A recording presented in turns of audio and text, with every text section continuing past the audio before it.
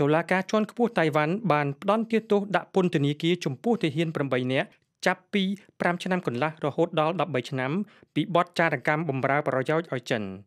នៅក្នុងចំណោមជនជាប់ចោទទាំងនោះគេសង្ស័យថាបរិសម្នាក់ឈ្មោះឆាវជាមេខ្លោង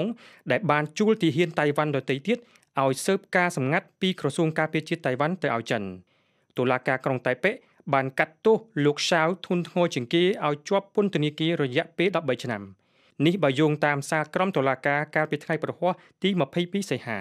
កាលពីខែវិច្ឆិកាកន្លងទៅនេះរដ្ឋអាជ្ញាតៃវ៉ាន់បានចោទប្រកាន់យោធិន10នាក់ពីបទចារកម្មឲ្យចិន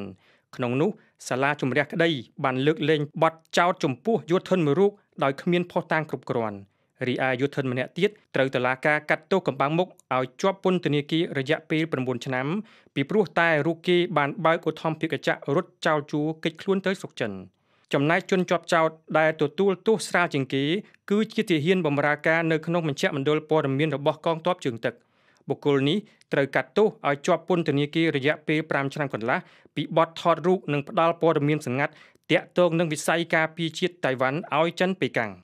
សម្រាប់តឡាការតៃវ៉ាន់ទង្វើរបស់ប្រយុទ្ធជនទាំងនោះល្មើសនឹងកាតព្វកិច្ចមន្ត្រីរាជការដែលចែងថាត្រូវតែស្មោះត្រង់ការពារប្រជាជាតិនិងបម្រើប្រជាជនរបស់ខ្លួន សកម្មភាពក្បត់ជាតិរបស់ពួកគេទាំងនោះបានធ្វើឲ្យគ្រោះថ្នាក់ធ្ងន់ធ្ងរដល់សន្តិសុខជាតិនិងសេចក្តីសុខរបស់ប្រជាជនតៃវ៉ាន់ទោះមិនដេចក្តីតុលាការកំពូលក្រុងតៃប៉េបានបើកផ្លូវឲ្យជនជាប់ចោតទាំងនោះអាចមានសិទ្ធិប្តឹងជំទាស់នឹងសេចក្តីសម្រេចរបស់តុលាការតៃវ៉ាន់